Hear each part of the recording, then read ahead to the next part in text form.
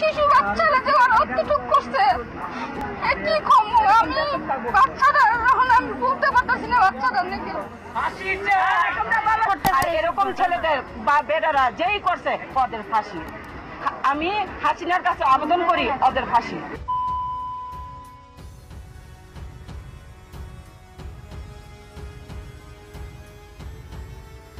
দশ বছর নবী এই কোরআন দিয়ে রাষ্ট্র চালিয়েছিলেন মদিনাকে। আরও জোরে বলেন। দশ বছর নবী যে কোরআন দিয়ে রাষ্ট্র চালালেন, এই সন্ন্যত কিন্তু বাংলাদেশ এখন আর নেই। এটা মরে গেছে।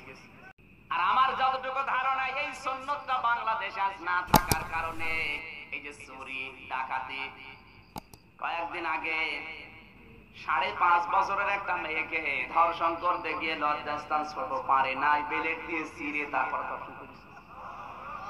এগুলো এমনি হচ্ছে না, এই সন্ন্যতটা না থাকার কারণে। কথা বলছে না? মক্কা মদিনায় পঁয়তাল্লিশ দিন ছিলাম, কোন ধর্ষণের কেস তো দূরের কথা, আমার কানে সংবাদও আসে না যেমন মহিলা ধর্ষণ হয়েছে।